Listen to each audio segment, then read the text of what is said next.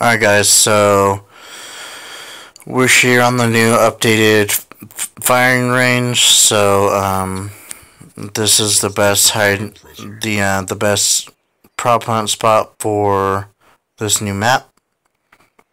So it's gonna be right in this building over here.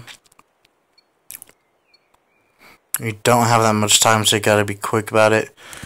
So once you're done with this, you just jump up, jump up on here then jump behind this uh, this uh, truck here. They won't suspect a thing, and it's just uh, an all-around really cool spot. If you're feeling risky, you can jump in the back of the truck. Right, you can jump in the back of the truck, but that's only if you're feeling risky. But um, yeah, other than that, they can't see you. You can't see them.